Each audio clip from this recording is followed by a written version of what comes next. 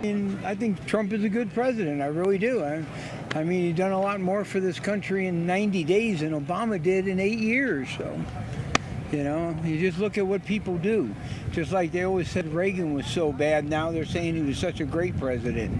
Come to Mount Rushmore to see the presidents and uh, a friend of mine has been involved in the queue. So there's a bunch of that going on here. I'm gonna go to some uh, meetings and see what happens.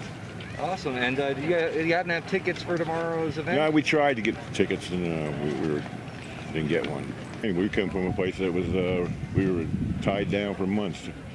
Couldn't do anything. And uh, now it's, it seems like it's better here. Thank you. And we're gonna have a good weekend and hope you do too. It's really cool, and I wish we had.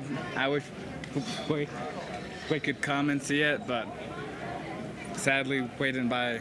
Sadly, we didn't like a ticket and stuff. But Well, it's going to be really great for all the people that are coming tomorrow. Obviously, for us today, it kind of stinks that we can't get to everything, but Yeah. it's going to be a great celebration tomorrow. So, it's Still exciting. yeah.